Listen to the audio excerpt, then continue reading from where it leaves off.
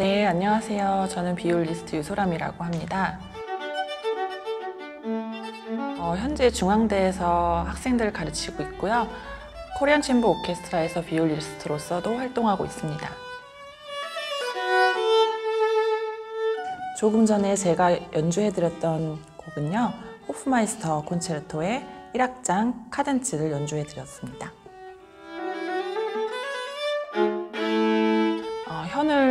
써보니까 작은 액션에도 잘 반응하는 게 이 줄의 장점이었던 것 같고요. 그리고 볼륨이 잘 크게 나서 연주하는 데 있어서 간편하게 할 수 있었고요. 예를 들면 작은 액션에도 반응하는 어, 줄이어서 쉽게 소리가 나는 그런 장점이 있는데요.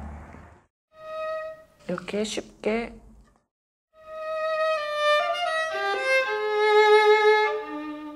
처음에 시작이 조심스러운 그런 곡을 연주할 때 어, 편하게 연주를 할 수 있는 그런 줄인 것 같습니다.